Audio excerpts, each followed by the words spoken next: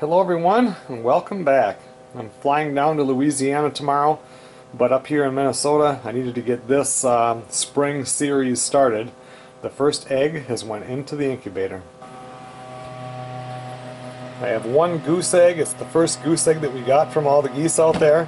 So I've got this one in here now and then Sarah will take care of the chores and stuff while I'm gone. And as we get new eggs they'll be dated on the top you can't really see it and then uh, they'll be put in here. So anyway like I said I just started this video so we can get this series started see what we have going on for this year. Like I said Sarah will be putting the other eggs in. We should be getting goose eggs and duck eggs and turkey eggs and I should be back here in about two weeks and I'll do an update